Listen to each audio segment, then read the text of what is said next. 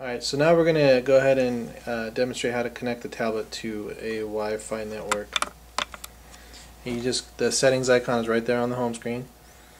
Click, uh, touch that, and then you can see here it just says Wi-Fi. You slide that to on, and it enables the Wi-Fi, and will bring up something on the right-hand side of the screen here.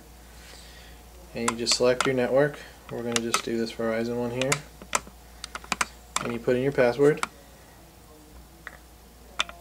If your network requires one if not it'll skip this step.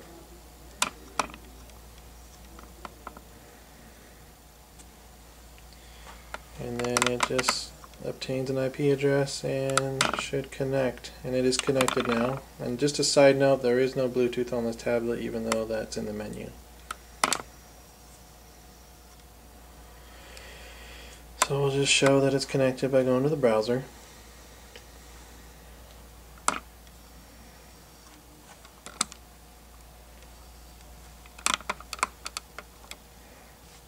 And it just brings up Google here.